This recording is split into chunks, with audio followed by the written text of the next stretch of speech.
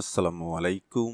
আমন্ত্রণ জানাচ্ছি সিবিএন আপডেটে বিশ্বকাপের সেমিফাইনাল খেলার লক্ষ্য নিয়ে ভারতে গিয়েছিল বাংলাদেশ। এখন অবস্থা এমন, শীর্ষ আটে থাকা নিয়ে অনিশ্চয়তা। গ্রুপ পর্বের খেলা শেষে পয়েন্ট টেবিলে সাত থেকে আট নম্বরে থাকতে না পারলে দু চ্যাম্পিয়ন্স ট্রফি খেলার যোগ্যতা হারাবে বাংলাদেশ দল। জয় দিয়ে বিশ্বকাপ শুরুর পরও টানা ছয় হারে কোণঠাসা হয়ে পড়েছে বাংলাদেশ। এতে চ্যাম্পিয়ন্স ট্রফি না খেলার শঙ্কা উকি দিচ্ছে।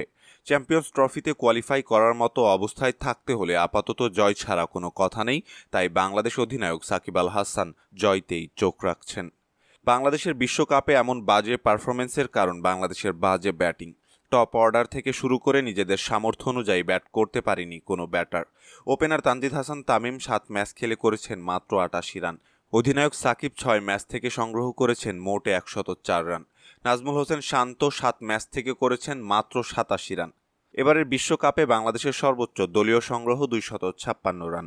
সাত ম্যাচে বাংলাদেশের ব্যাটাররা পঞ্চাশ ওভার ব্যাট করেছে মাত্র এক ম্যাচে, বাকি ছয় ম্যাচের একটিতে বাংলাদেশ জিতেছে আফগানিস্তানের বিপক্ষে পরে ব্যাট করে।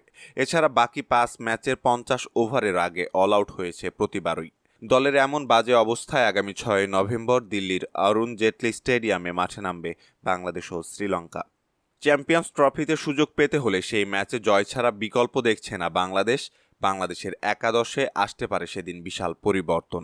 অধিনায়ক সাকিব ব্যাট করতে নামবেন চার নম্বর পজিশনে। মাহমুদুল্লাহ রিয়াদকে আবারও উপরে ব্যাটিং করার সুযোগ দিচ্ছে টিম ম্যানেজমেন্ট। পজিশনটা হতে পারে তিন নম্বরে।